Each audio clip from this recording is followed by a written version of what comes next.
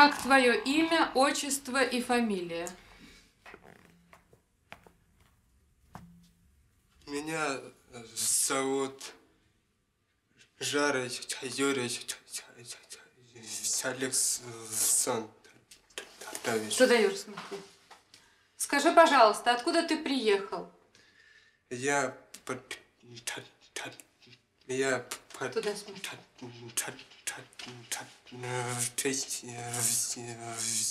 Съехал из города тогда Харькова. Где ты учишься? Я учусь в тех... Я учусь в тех... в техническом училище. Юра, мы сейчас с тобой проведем сеанс. Только смотри, пожалуйста. Только на меня. Глаза мне смотреть.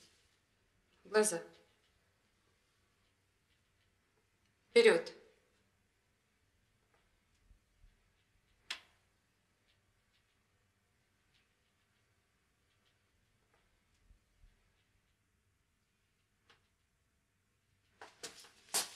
Теперь повернись спиной. Сосредоточь все внимание на моей руке. И ты почувствуешь, что моя рука тянет тебя назад.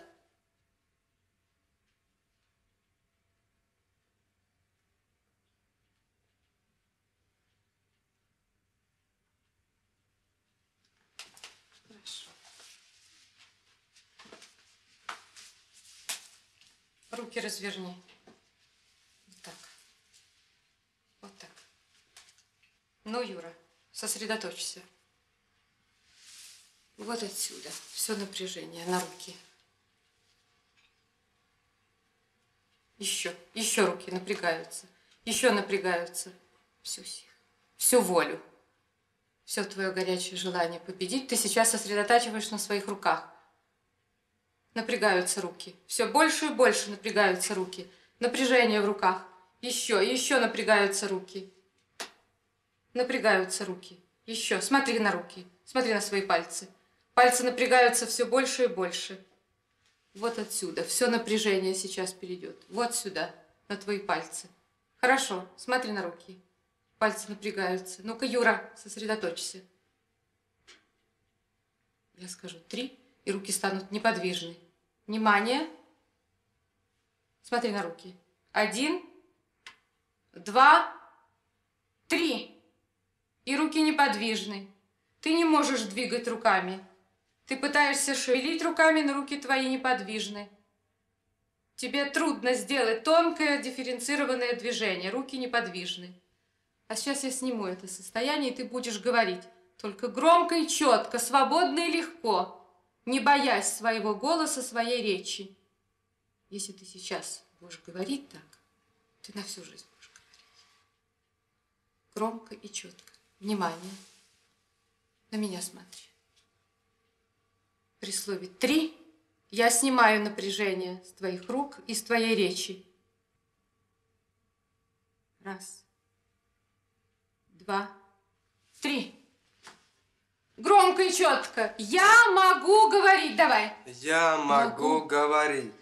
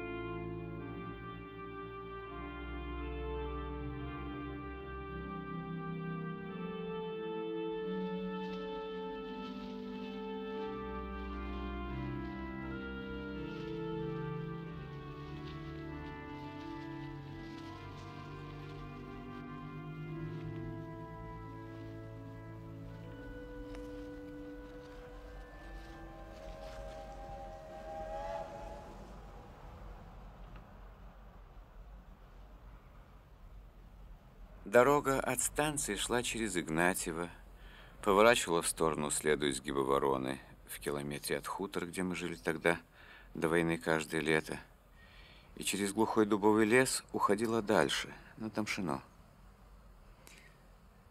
Обычно мы узнавали своих только тогда, когда они появлялись из-за широкого куста, возвышающегося посреди поля. Если он от куста свернет в сторону дома, то это отец. Если нет, то это не отец, и это значит, что он не приедет уже никогда.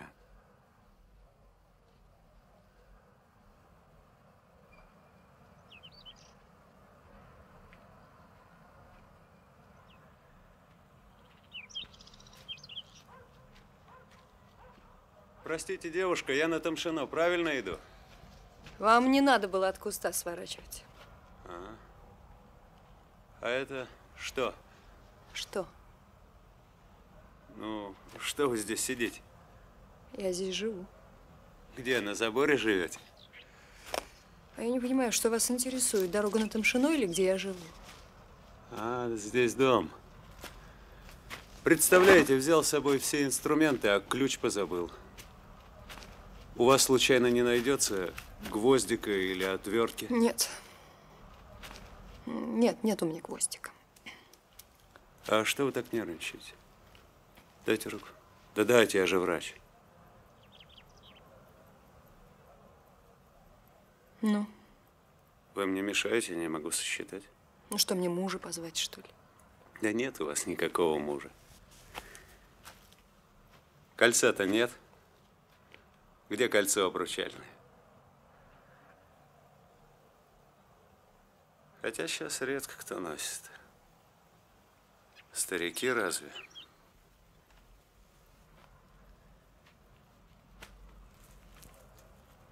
А папиросу вас можно попросить?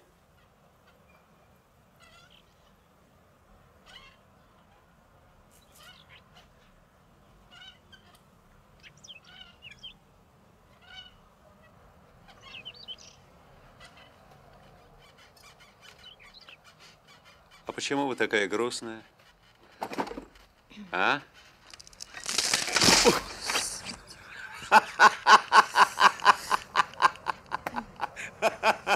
Я не понимаю, почему вы так радуетесь. Да знаете, приятно упасть с интересной женщиной.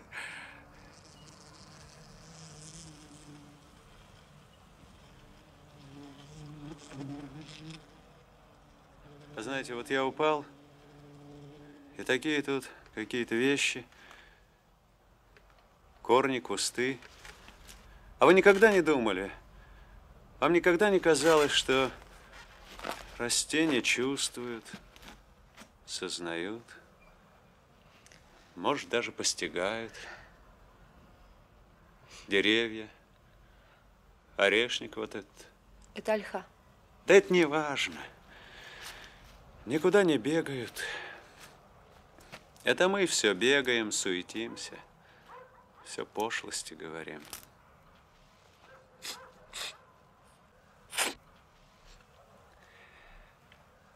Это все от того, что мы природе, что в нас не верим. Все какая-то недоверчивость, торопливость, что ли. Отсутствие времени, чтобы подумать. Послушайте, у вас что-то... А, ну, ну, ну, ну. Я это уже слышал. Мне это не грозит, я же врач. А как же палата номер шесть? Так это же он все выдумал, сочинил. А знаете что? Приходите к нам в Тамшино. Послушайте, У нас там даже весело бывает. у вас кровь Где? За ухом. С другой стороны. А,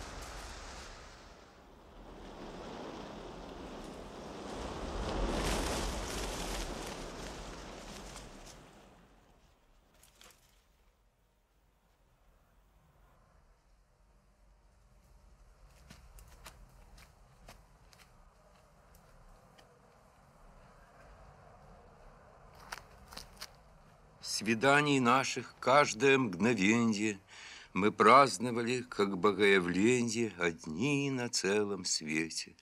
Ты была смелей и легче птичьего крыла, По лестнице, как головокруженье, Через ступень сбегала И вела сквозь влажную сирень В свои владенья С той стороны зеркального стекла. Когда настала ночь, была мне милость дарована, Алтарные врата отворены, И в темноте светилась, И медленно клонилась нагота, И, просыпаясь, будь благословенна, Я говорил, и знал, что дерзновенно мое благословенье.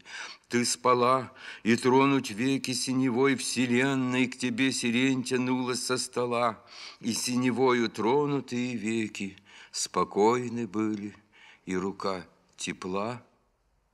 А в хрустале пульсировали реки, Дымились горы, брезжили моря, И ты держала сферу на ладони хрустальную, И ты спала на троне, и, Боже правый, ты была моя.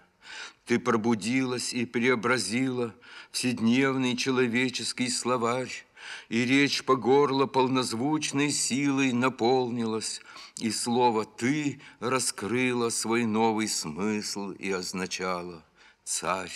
На свете все преобразилось, даже простые вещи, таз, кувшин, когда стояла между нами, как на страже, слоистая и твердая вода.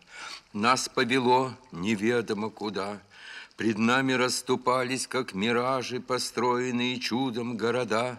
Сама ложилась мята нам под ноги, и птицам с нами было по дороге, и рыбы подымались по реке, и небо развернулось пред глазами, когда судьба по следу шла за нами, как сумасшедший с бритвою в руке.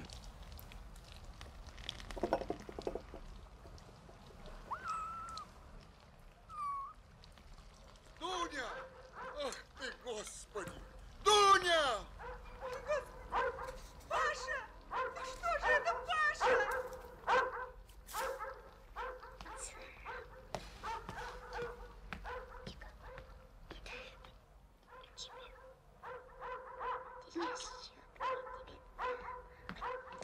Пожар, только не орите.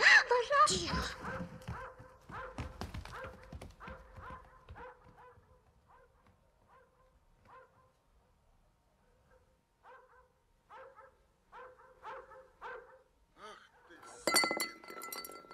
Ну, попадись ты мне. А может, это не наш Витька? А может, он там? а? Может, он сгорел? А Кланька где? А? Кланька? Кланька! Чего?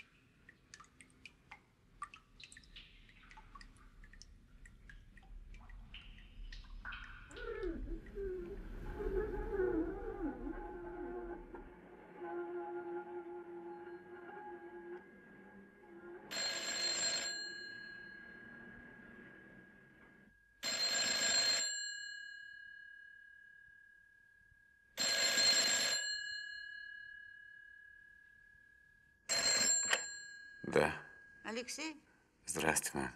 что у тебя с голосом? Ты не здоров? Да не, ничего страшного. Ангина, наверное. Я тут три дня вообще ни с кем не разговаривал. Мне даже показалось, что хорошо помолчать. Все-таки слова не могут передать всего, что человек чувствует. Они какие-то вялые. Ты знаешь, как странно. Я тебя только что во сне видел. Как будто я еще ребенок. Кстати, мам, а в каком году от нас отец ушел? В 36-м или 37-м? Ну, во-первых, в 35-м. А потом зачем тебе все это? А пожар? Ну, помнишь, когда сеновал сгорел на хуторе? Все тогда же, в 35-м. Ладно, ты мне голову заморочил. Я, собственно, вот что. Ты знаешь, Лиза умерла. Какая Лиза? Ну, Лиза. Лизавета Павловна, с которой мы в типографии работали. Ну, на Серпуховке. О, Господи. Когда? Утром сегодня, в 7 часов. А сколько сейчас времени? Сейчас, собственно, что? Около шести, наверное. Утра? Что с тобой? Вечера, конечно. Слушай, мам, что мы все время ссоримся, а? Ну, в конце концов, прости меня, если я виноват.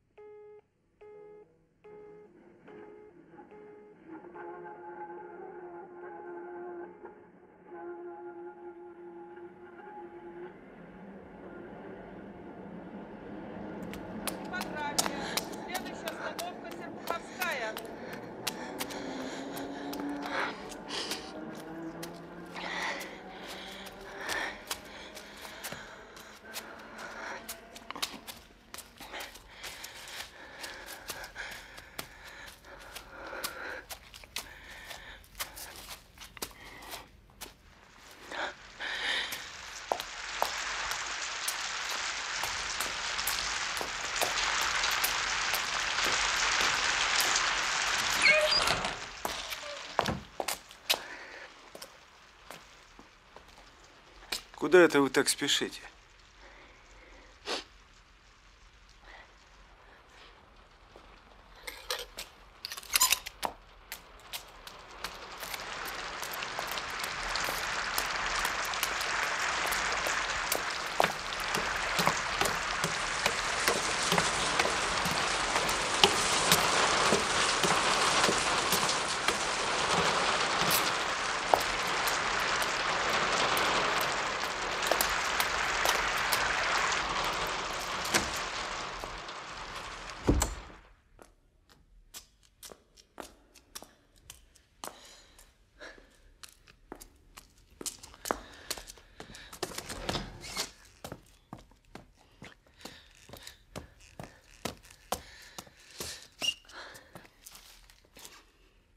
Здравствуйте.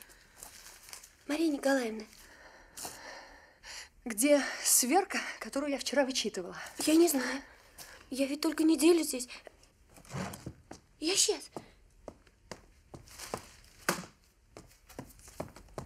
Здесь Елизавета Павловна.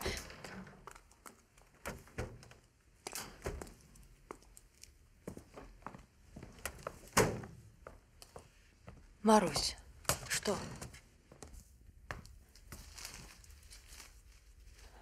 Что-нибудь в вечерних гранках? В Гаслитовском издании. Не нервничай. Надо посмотреть в шкафу в наборном. Конечно, вы же сами их туда положили. Но ведь это же не беда, Маша.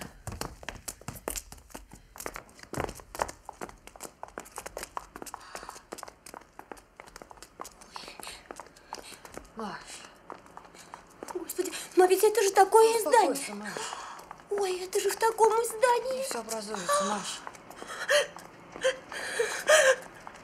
Любое издание должно быть без опечаток. Ой. Замолчи, идиотка.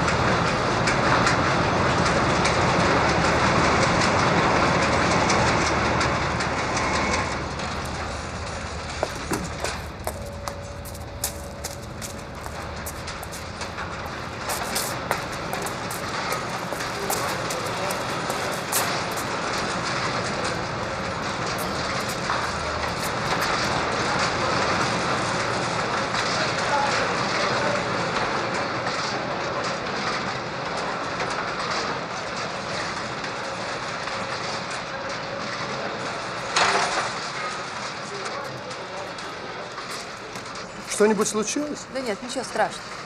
Нет, ничего страшного, конечно, нет. Я просто хочу посмотреть, может быть, я ошибаюсь. Э, Нет, то есть я не ошиблась. Вот именно, Маш, давай все по порядку. Э, Нет, я лучше сама, я лучше одна посмотрю. Уж больно все срочно. Все спешат. Всем некогда.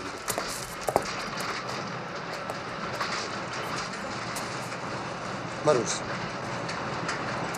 Вы думаете, я боюсь? я понимаю, что не боишься. Пускай другие боятся. Пусть будет так. Кто-то будет работать, кто-то будет бояться.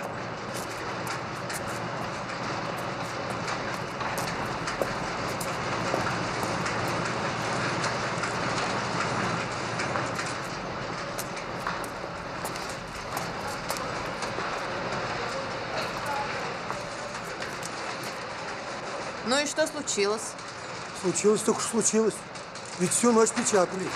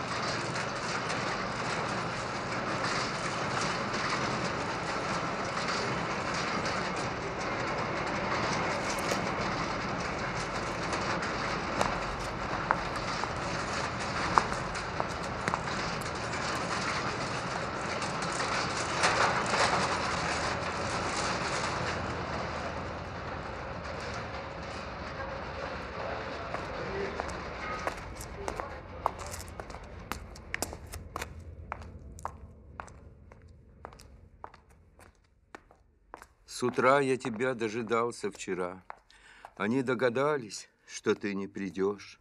Ты помнишь, какая погода была, как в праздник? И я выходил без пальто. Сегодня пришла и устроили нам какой-то особенно пасмурный день и дождь, и особенно поздний час. И капли бегут по холодным ветвям. Ни словом унять, ни платком утереть.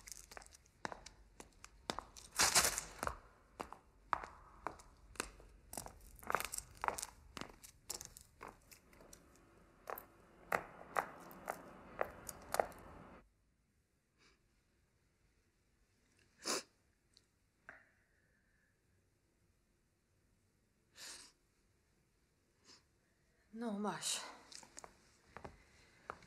ведь ничего же не было, а? Все в порядке? Нет, ну, нет, ну это была просто дикая ошибка. Мне даже тебе сказать неприлично. Ну, тогда чего ж ты плачешь? И что это меня вдруг кольнуло? Я даже видела, как оно набрано, как оно выглядит, это слово. Какое? Ну. Маш.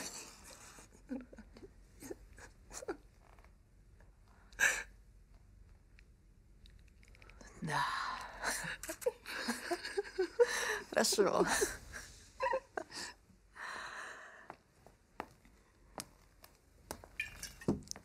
Это спирт. Тут немного, но все к делу. Ты же мокрая вся насквозь. Посмотри, на кого ты похожа. Чучело. Ой, действительно, я же вся промокла. Господи. Так, я, пожалуй, пойду в душ. Я, пожалуй, пойду в душ. Где же гребенка? Боже мой. Ты знаешь, на кого сейчас похоже? На кого? На Марию Тимофеевну. Какую Марию Тимофеевну? На. Что на? Ты же гребенку ищешь, на. Слушай, ты можешь наконец нормально? Какую Марию Тимофеевну? Ну, была такая Мария Тимофеевна Лебяткина. Сестра капитана Лебяткина. Жена Николая Всеволодовича Ставроля. При чем тут все это? Нет, я просто хочу сказать, что ты поразительно похожа на Лебяткину. Ну, хорошо.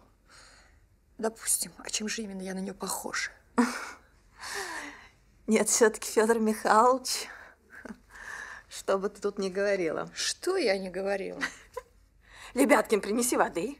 Лебяткин, подавай башмаки. Вся только разница в том, что братец ей не приносит воды, а бьет ее смертным боем. А она-то думает, что все совершается по ее мановению. Ты прекрати цитировать и объясни, я не понимаю. Боже мой. Да вся твоя жизнь. Это принеси воды, да подавай башмаки. А что из этого выходит? Видимость независимости. Да и ты же пальцем шевельнуть попросту не умеешь. Если тебя что-нибудь не устраивает, ты или делаешь вид, что этого не существует, или нос воротишь. Чистюля ты. Ты у меня бьет, что ты такое огородишь. Нет, я просто поражаюсь терпению твоего бывшего муженька. По моим расчетам, он гораздо раньше должен был бы убежать. Опрометью. Я не понимаю, что он от меня хочет. А ты разве сознаешься когда-нибудь в чем, даже если сама виновата? Да никогда в жизни. Нет, это просто поразительно. Ведь ты же собственными руками создала всю эту ситуацию. Господи, да если ты не сумела довести своего дрожайшего супруга до этого твоего бессмысленного, эмансипированного состояния, то будем считать, что он вовремя спас. А что касается детей, то ты определенно сделаешь их несчастными.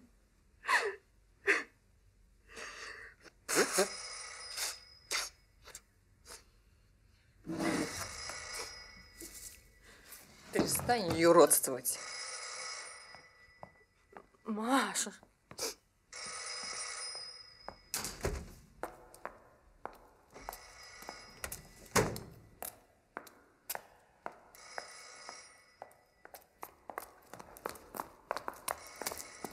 Маша.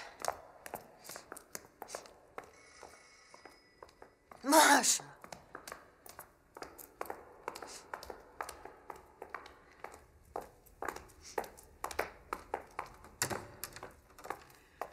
Ну что ты? Маш! Ну что ты, ей-богу? Оставь меня в покое.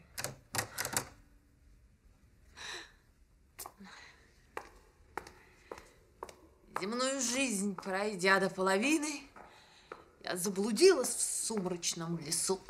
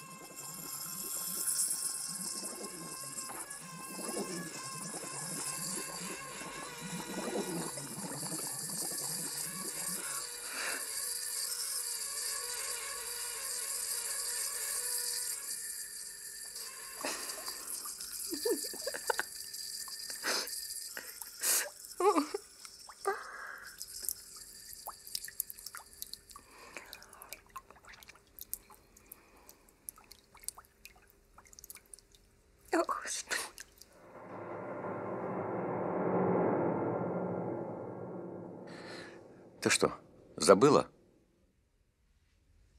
Я всегда говорил, что ты похожа на мою мать. Видимо, поэтому мы и разошлись. Я с ужасом замечаю, как Игнат становится все больше похожим на тебя. Да. А почему же с ужасом? Видишь ли, Алексей Александрович, мы с тобой никогда не могли по-человечески разговаривать. Даже когда я просто вспоминаю и детство, и мать, то у матери почему-то всегда твое лицо. А, впрочем, я знаю почему. Жалко вас обеих одинаково. И тебя, и ее. Почему жалко? Игнат, не валяй дурака. Поставь стакан на место.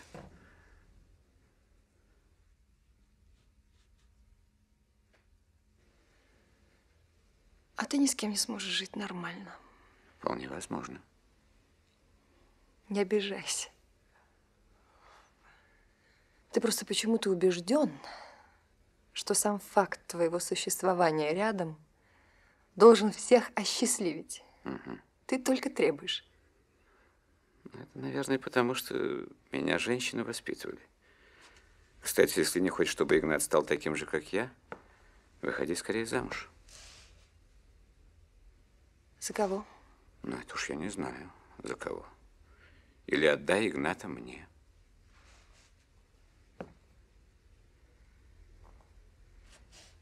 Ты почему с матерью не помирился до сих пор? Ведь ты же виноват. Я виноват? В чем? В том, что она внушила себе, что лучше меня знает, как мне жить? Или что, в конце концов, может сделать меня счастливым? Тебя счастливым. Ну, во всяком случае, что касается матери меня, то я острее все это чувствую, чем ты со стороны. Что, что, что? Что ты чувствуешь острее? А то, что мы удаляемся друг от друга. И что я ничего не смогу с этим сделать. Pero que, que no tengo yo la, la seña, no tengo, lo- no sé dónde va a ir yo. Me dice él, bueno, chico, ya no las arreglaremos. Bueno, entrego las maletas. Dice, salimos a la calle y dice, María, ven aquí, María. Dice, ¿qué pasa? Я «Pues mira, Слушай, Наталья, отвлеки его как-нибудь. Он опять начал рассказывать об Испании. Все заведутся, кончится все это скандалом. Хорошо. le, le puede ayudar. Dice, ¿usted sabe aquí alguna casa? Я вот о calle?» чем тебя попросить хотела. У нас сейчас в квартире ремонт. Игнат очень хочет с тобой пожить неделю. Как ты на это смотришь? Ну, конечно, с удовольствием. Буду очень рад.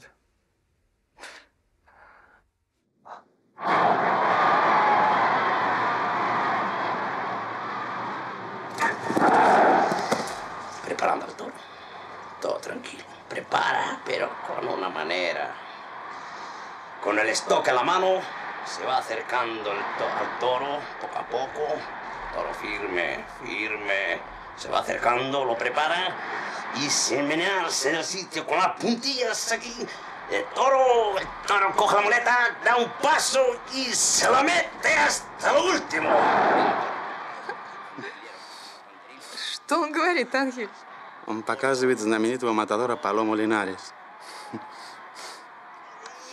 Qué чушь. ¡Al público! ¡Le! Eso. Bueno, pero eso es Palomo Linares. Bueno, la corrida muy bien, claro, pero lo que más me impresionó fue la despedida. Él no lloraba, mi padre nunca llora. Pero nos encontramos con los ojos y sentíamos los dos lo, mis- lo más seguro la misma cosa. No sé qué pensaba él. En ese momento yo pensaba, nos veremos otra vez. Pero yo creo que me lo- él me lo dio con sus Но ojos. больше всего его взволновал последний вечер, прощание. No se puede hablar ni contar. Весь город его провожал, все пели, плясали. Мать не могла провожать его. Она болела. А отец стоял в стороне, пока все пели. Грустный какой-то и молчаливый. Когда он посмотрел ему в глаза, он понял, что они думают об одном и том же. Увидятся ли они когда-нибудь или нет.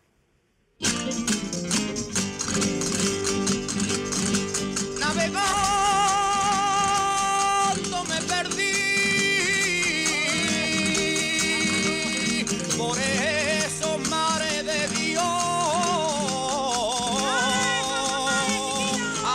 что, издеваешься? Столько времени тебя учили, ничего у тебя не получалось. Оказывается, ты можешь. Бальтун бил Испания и ничего не понял. Луиса, а вам никогда не хотелось вернуться в Испанию? Мне я не могу. У меня муж русский. И дети тоже русские.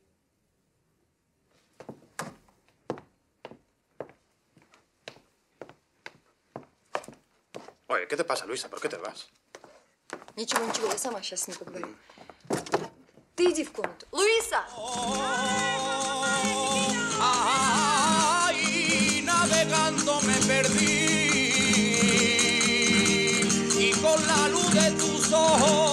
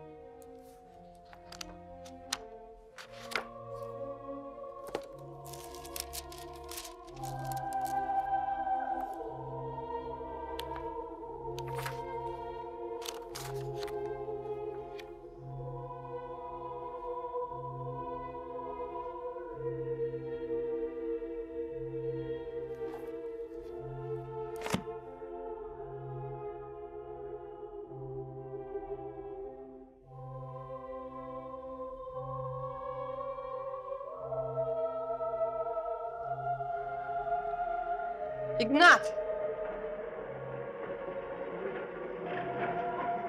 Иди сюда, я ухожу.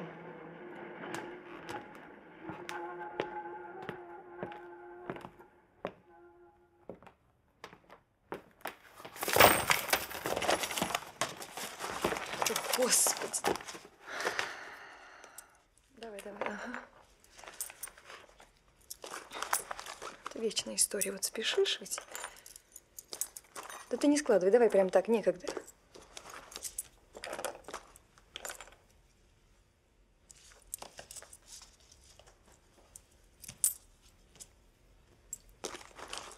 Ой, током.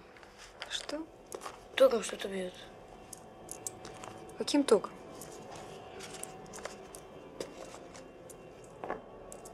Как будто это уже было все один раз. Тоже деньги собирал. Что, что?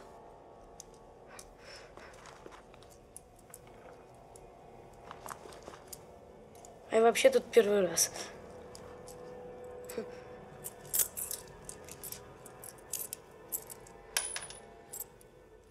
Давай сюда деньги. Перестань фантазировать, я тебя очень прошу.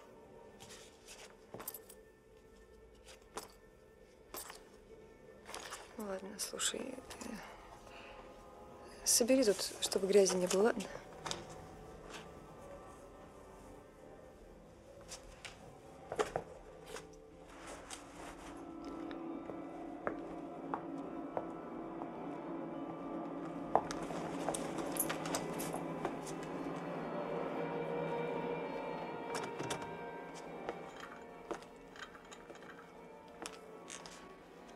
Слушай, ты здесь, пожалуйста, ничего не трогай. И потом, если придет Мария Николаевна, скажи ей, чтобы она никуда не уходила, хорошо?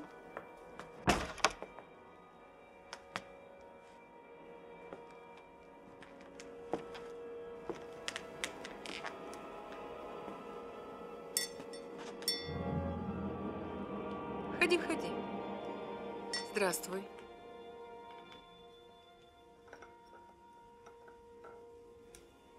Евгения Васильевна, еще одну чашечку для молодого человека. Хорошо?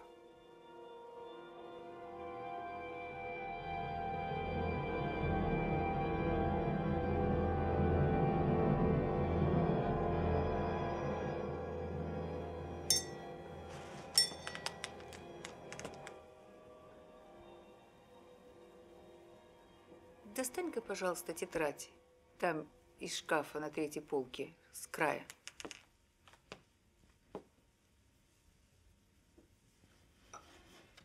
Да-да, спасибо. Ну-ка, прочти мне страницу, которая лентой заложена.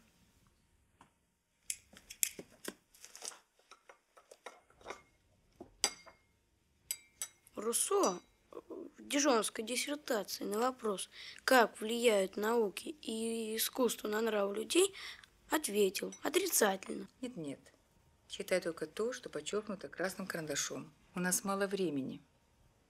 Несмотря на то... Ой, нет. Нет сомнения, что разделение церквей отъединило нас от Европы, и что мы не принимали участие ни в одном из великих событий, событий, которые ее потрясали. Но у нас было свое особое предназначение. Это Россия, это ее необъятные пространства поглотили монгольское нашествие. Татары не посмели перейти наши западные границы и оставить нас в тылу. Они отошли к своим пустыням, и христианская цивилизация была спасена. Для достижения этой цели мы должны были вести совершенно особое существование, которое, оставив нас христианами, сделало нас, однако, совершенно чуждыми христианскому миру. Что же касается нашей исторической ничтожности, то я решительно не могу с вами согласиться. Положа руку на сердце, разве не находите вы чего-то значительного в теперешнем положении России, чего-то такого, что поразит будущего историка?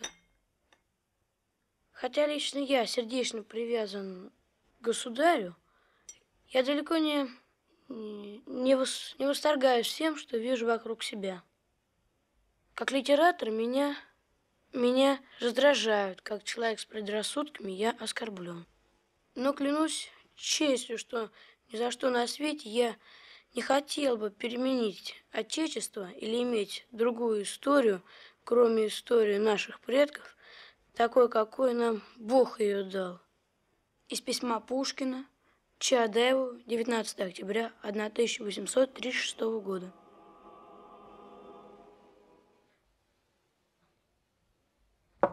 Иди, иди, открой.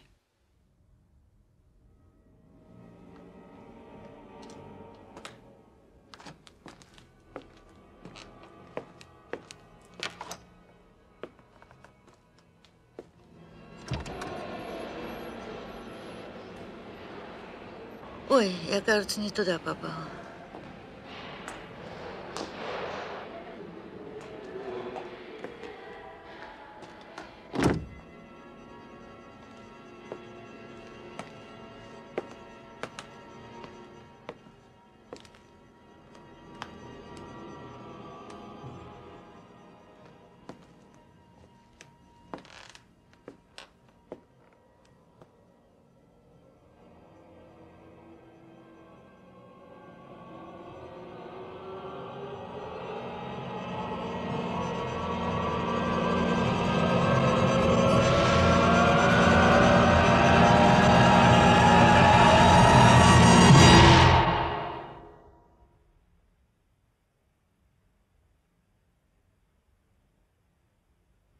Эй!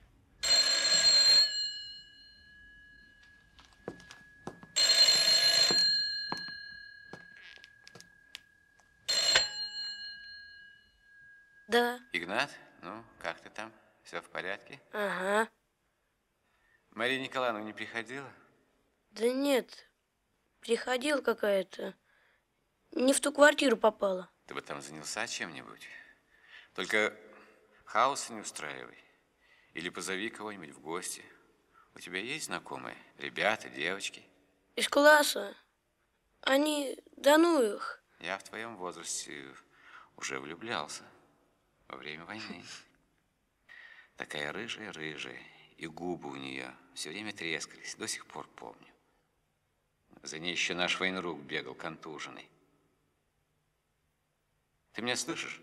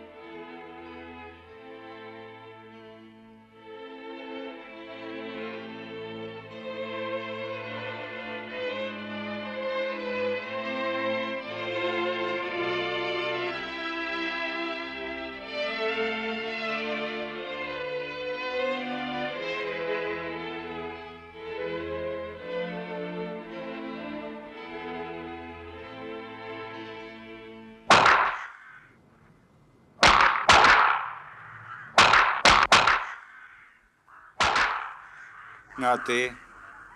Куда ты стрелял? Думаешь, я не видел? Ты вверх стрелял. А за это знаешь, что тебе?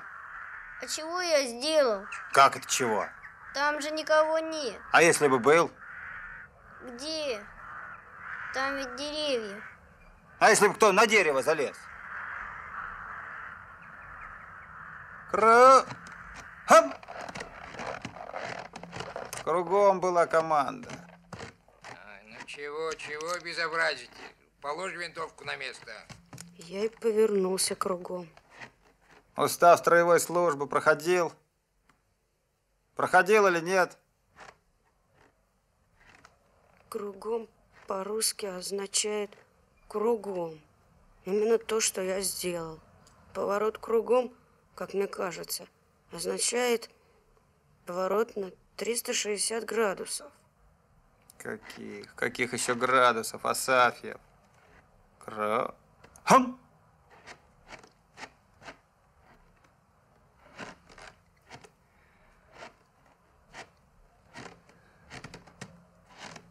На огневые позиции.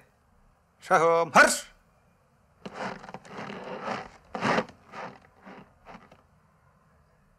А я тебя за родителями отправлю.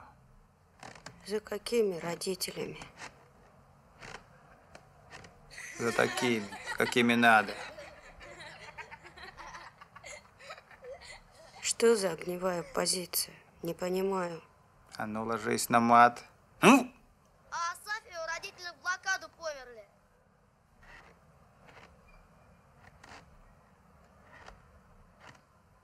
Огневая позиция это... Огневая позиция, понял?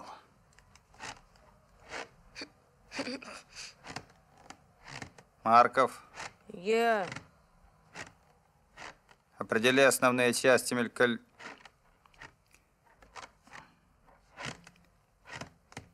Винтовки ТОС номер восемь.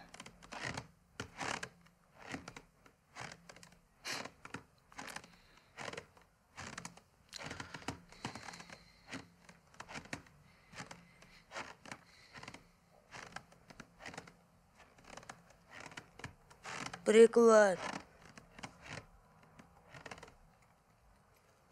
Дура.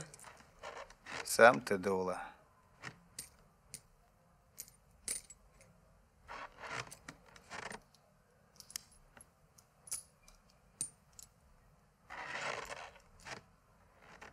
А что ж тогда такое дуло?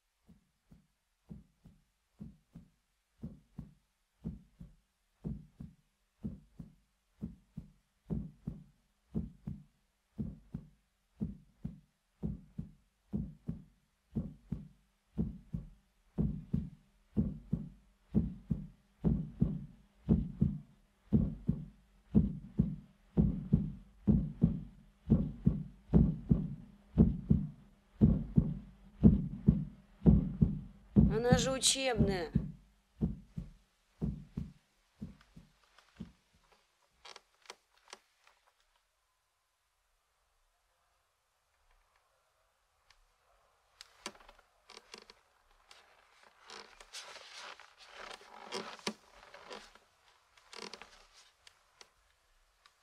А еще ленинградец. Блокадник.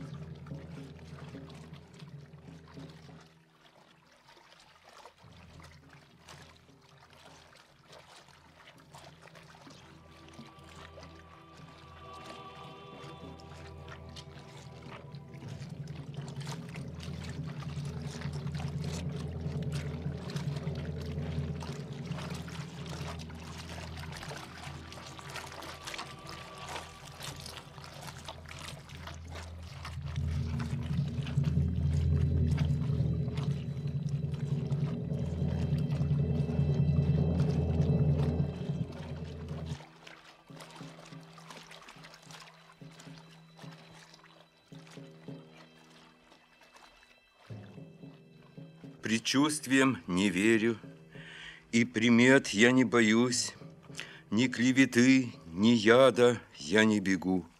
На свете смерти нет, бессмертны все, бессмертно все. Не надо бояться смерти ни в семнадцать лет, ни в семьдесят. Есть только явь и свет. Ни тьмы, ни смерти нет на этом свете. Мы все уже на берегу морском, и я из тех, кто выбирает сети, когда идет бессмертие косяком. Живите в доме, и не рухнет дом.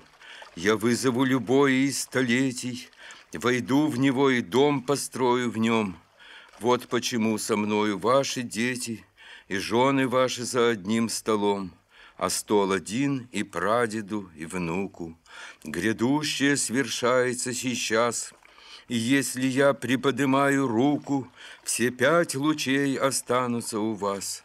Я каждый день минувшего, как крепью, ключицами своими подпирал, Измерил время землемерной цепью и сквозь него прошел, как сквозь Урал.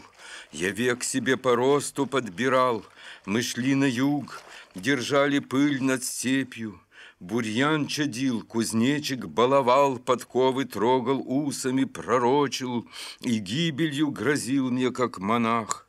Судьбу свою к седлу я приторочил.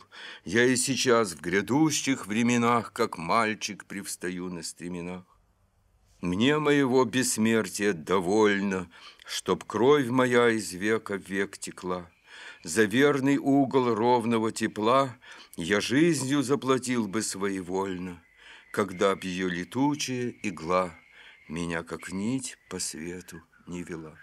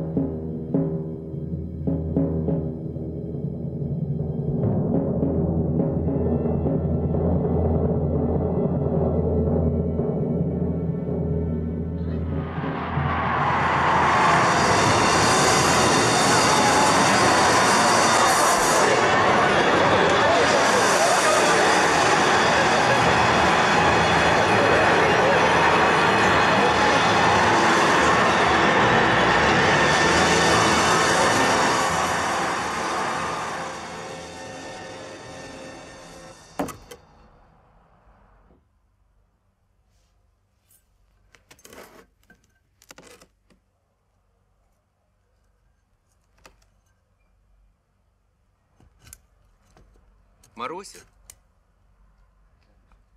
А дети? Дети где? Алёшка, я скажу, что ты чужую книжку украл. Чего-чего? Скажу. А? Ну чего ты? Иди, иди. Говори. Не скажу. Все равно скажу.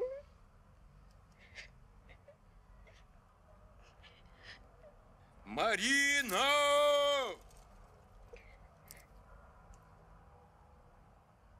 Марина!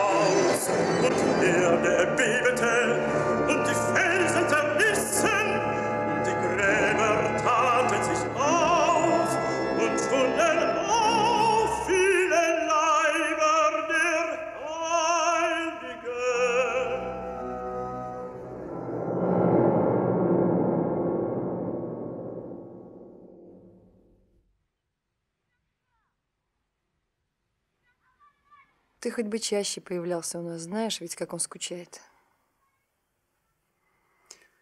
Вот что, Наталья. Пускай Игнат живет со мной. М?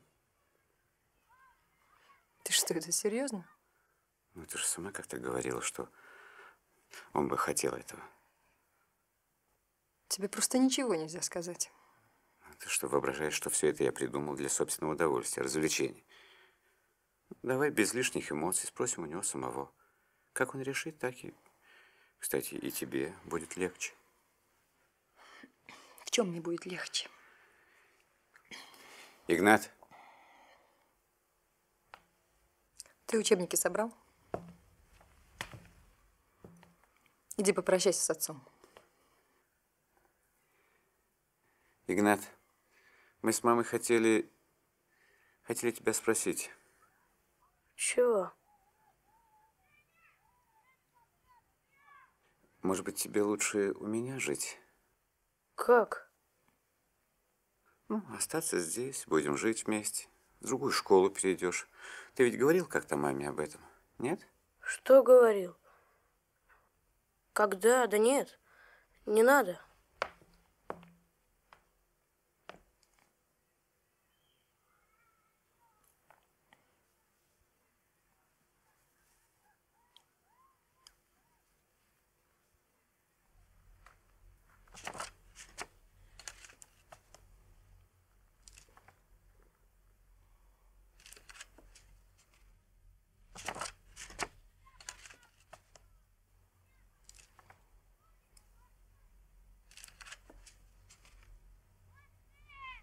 Нет, а мы с ней действительно очень похожи. Вот уж ничего общего.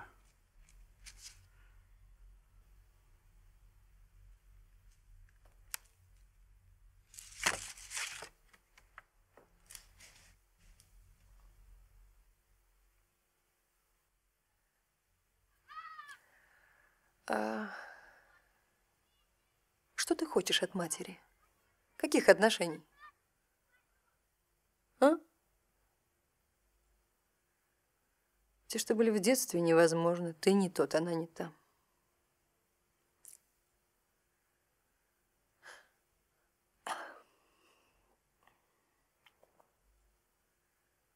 То, что ты мне говоришь о своем каком-то чувстве вины перед ней, что она жизнь на вас угробила. Что ж ты от этого никуда не денешься? А ей от тебя ничего не нужно. Ей нужно, чтобы ты снова ребенком стал, чтобы она тебя могла на руках носить и защищать. Господи, что я лезу не в свое дело? Как всегда.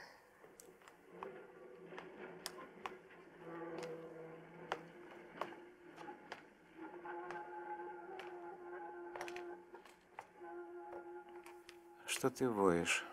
Ты мне можешь объяснить? Но выходить мне за него замуж или нет?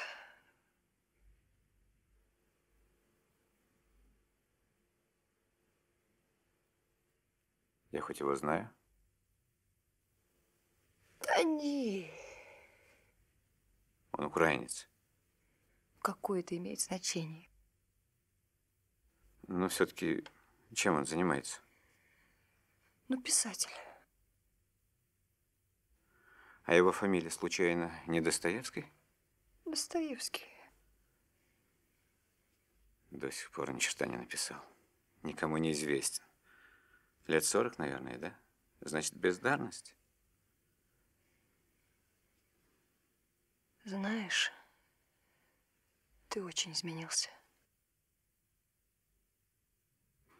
Так вот, бездарен ничего не пишет. Почему он пишет, только не печатается? Он, полюбуйся. Наш дорогой двоечник что-то поджег. Теперь меня штрафуют. Ты совершенно напрасно иронизируешь насчет двоек. Вот не кончит он школу, загремит в армии, и будешь ты оббивать пороги, освобождать его от службы. Причем стыдно будет мне. Это все плоды твоего воспитания, между прочим. Он не готов к армии. Кстати, ничего с ним страшного в армии не случилось бы. Ты почему матери не звонишь? Она после смерти тети Лизы три дня лежала. Я не знал. А ты же не звонишь. Она же, она же должна была сюда прийти в пять часов. А самому первый шаг трудно сделать. Мы ведь сейчас об Игнате разговариваем, кажется. Не знаю, может быть, я тоже виноват. Или мы просто буржуазились? М? И буржуазность-то наша какая-то дремучая азиатская. Вроде не накопители. У меня он один костюм, в котором выйти можно. Частной собственности нет, благосостояние растет. Ничего понять нельзя.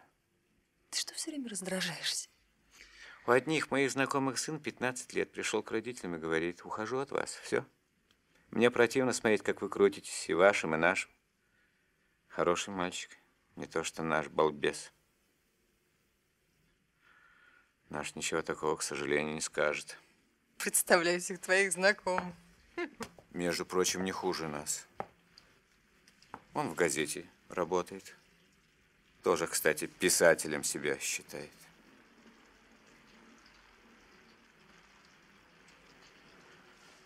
Только вот все никак не может понять, что книга – это не сочинительство, не заработок, а поступок. Поэт призван вызывать душевные потрясения, не воспитывать идол поклонников.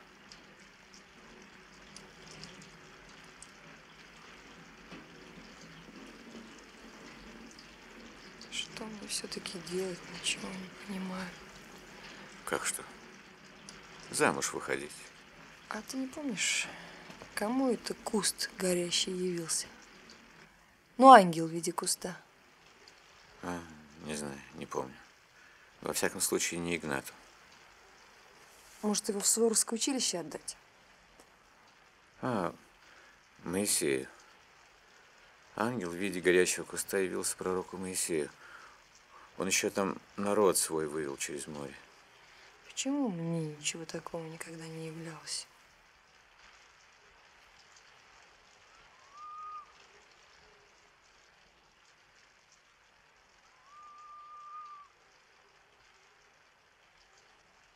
Мне с удивительной постоянностью снится один и тот же сон. Он будто пытается заставить меня непременно вернуться в те до горечи дорогие места, где раньше стоял дом моего деда, в котором я родился сорок с лишним лет тому назад, прямо на обеденном столе, покрытом белой крахмальной скатертью. И каждый раз, когда я хочу войти в него, мне всегда что-то мешает. Мне часто снится этот сон. Я привык к этому. И когда я вижу бревенчатые стены, потемневшие от времени, и полуоткрытую дверь в темноту синей, я уже во сне знаю, что мне это только снится. И непосильная радость омрачается ожиданием пробуждения. Иногда что-то случается, и мне перестают сниться и дом, и сосны вокруг дома моего детства. Тогда я начинаю тосковать. Я жду и не могу дождаться этого сна, в котором я опять увижу себя ребенком и снова почувствую себя счастливым от того, что еще все впереди, еще все возможно.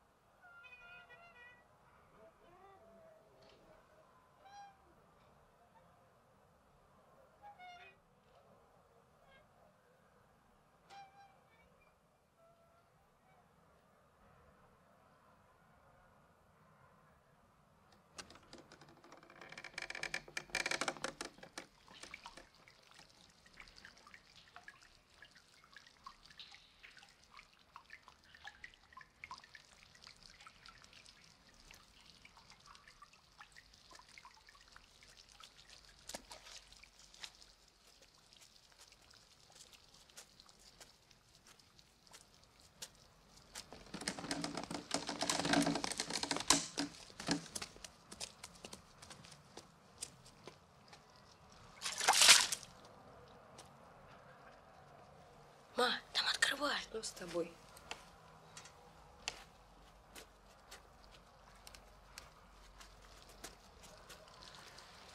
Здравствуйте.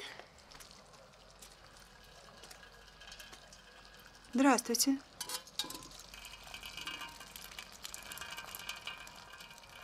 Здравствуйте. И вы Надежда Петровна? А что, я вас раньше... Э, Видите ли, я пачерица Матвея Ивановича Иванова. Они, по-моему, дружили с вашим мужем. Матвея Ивановича? Какого Матвея Ивановича? Иванов Матвей Иванович, врач. Он раньше жил здесь, в Завраже, а потом переехал в Юрьевец. А там он стал судебно-медицинским экспертом. А, а сами-то вы откуда? Из города? Мы, в общем-то, из Москвы, но в Юрьевце у нас комната. М.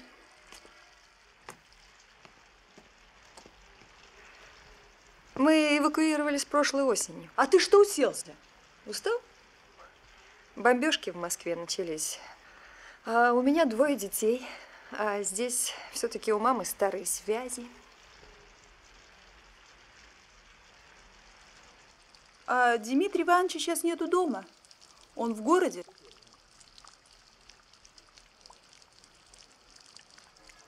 Перестань чесаться, тысячу раз тебе говорю. Мне, собственно, вы нужны. У меня к вам маленький дамский секрет.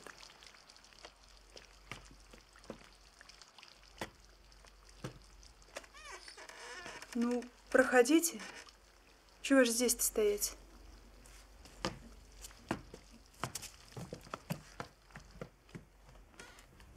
Вытирайте ноги только. Маша полы мыла.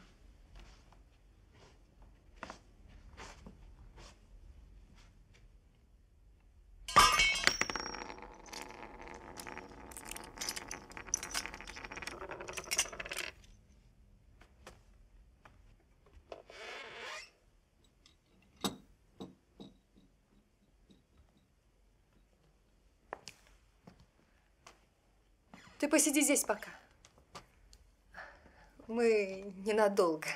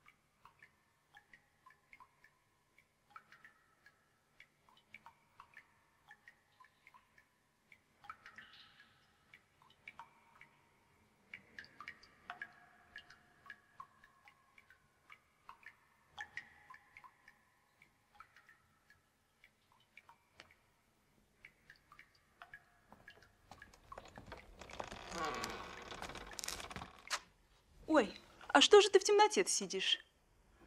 Погасла?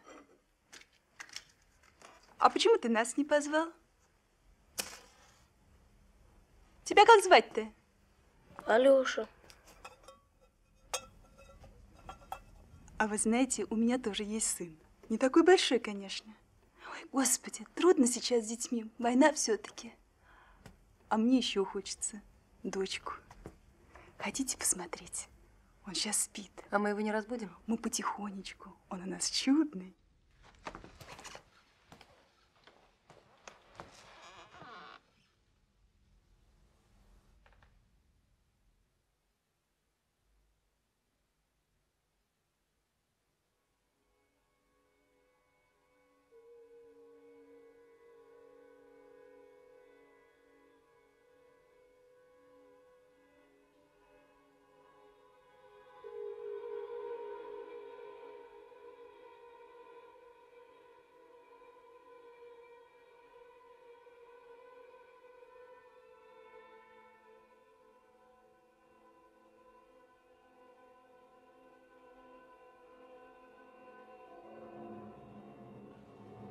Он давеча подошел к отцу и спрашивает, а почему пять копеек больше, а десять меньше? Я прямо села. А Дмитрий Иванович так ничего и не ответил, не смог. Ему ведь поначалу дочку хотелось. Он даже имя ей придумал – Лора. А я приданное розовое приготовила. И конверт, и ленту. Пришлось все перешивать. Наделал нам хлопот разбойник. Мы ведь уж уверились было в дочке-то. Разбудили мы тебя все-таки, да? Вот у тебя мама-то. Болтает да болтает. Это кто к нам пришел-то? А? Незнакомые? Ну что же ты? Э, не проснешься никак. Ну и ладно. Ну и спи тогда. Засни, моя. Спи.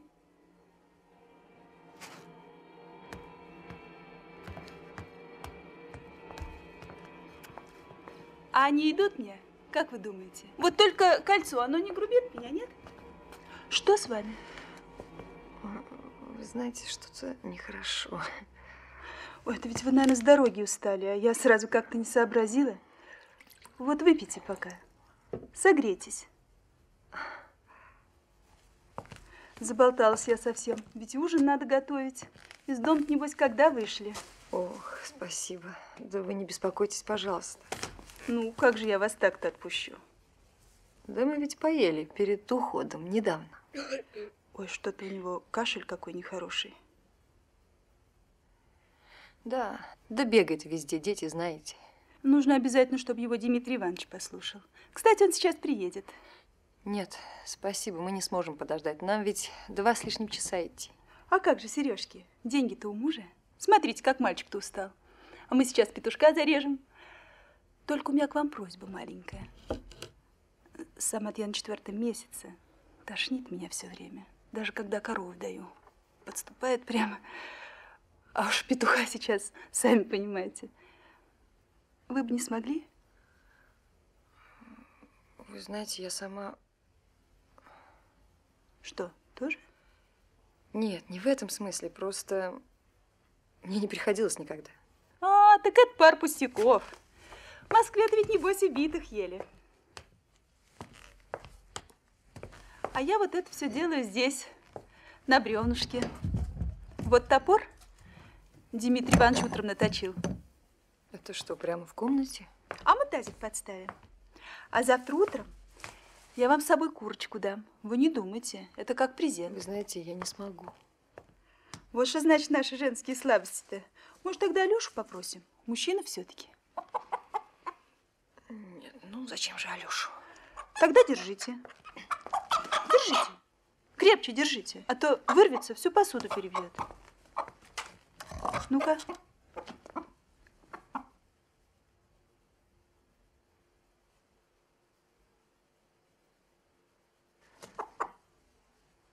Ой, что-то мне все-таки.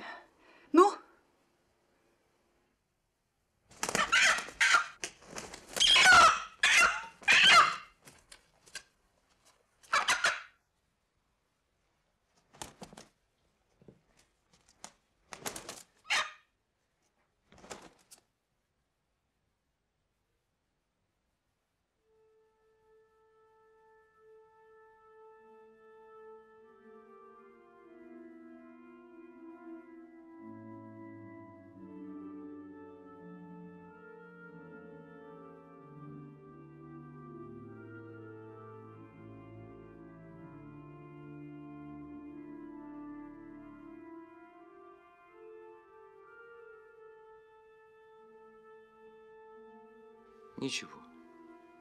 Успокойся, ничего. Все будет хорошо. Жалко, что вижу я тебя только когда мне уж очень плохо бывает. Ты меня слышишь? Да?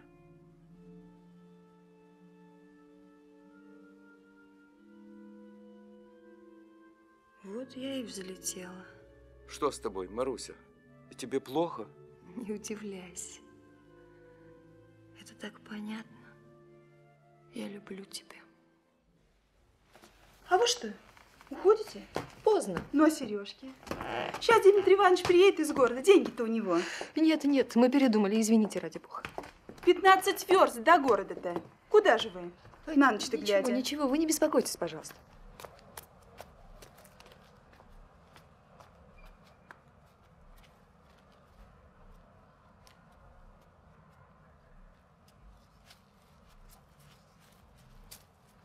У человека тело одно, как одиночка.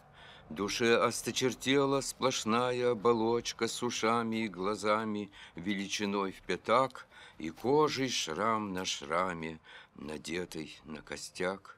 Летит сквозь роговицу в небесную креницу, на ледяную спицу, на птичью колесницу, и слышит сквозь решетку живой тюрьмы своей лесов и нив трещотку, трубу семи морей. Душе грешно без тела, как телу без сорочки, Ни помысла, ни дела, ни замысла, ни строчки. Загадка без разгадки. Кто возвратится вспять, сплясав на той площадке, Где некому плясать? И снится мне другая душа в другой одежде, Горит, перебегая от робости к надежде, Огнем, как спирт без тени, уходит по земле На память гроздь сирени, оставив на столе. Дитя, беги, не сетуй над Эвредикой бедной, И палочкой по свету гони свой обруч медный, Пока хоть в четверть слуха в ответ на каждый шаг. И весело, и сухо земля шумит в ушах.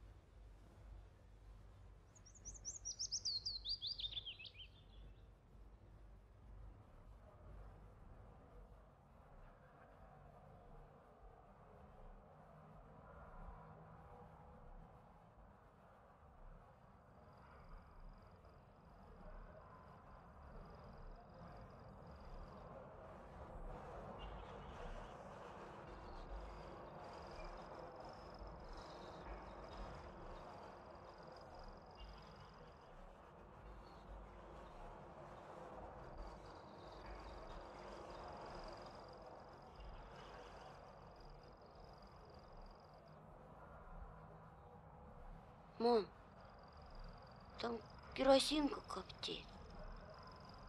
Что?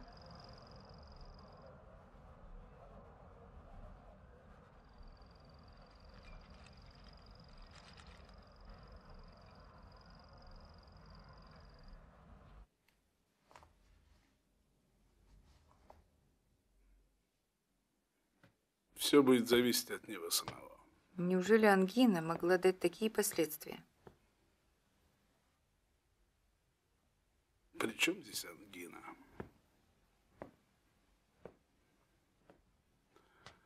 Это обычный случай. Обычный? Вы знаете, неожиданно умирает мать, жена, ребенок. Несколько дней человека нет, а был совершенно здоров. Но ведь у него никто не умирал. Ну, есть ведь совесть, память. А при чем тут память?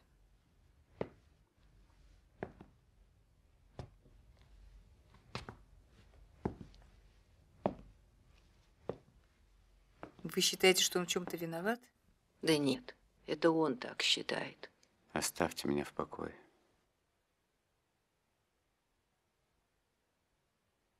Простите, вы что-то сказали? Оставьте меня в покое. В конце концов, я хотел быть просто счастливым. Да. А что будет с матерью? С твоей матерью, если ты не встанешь?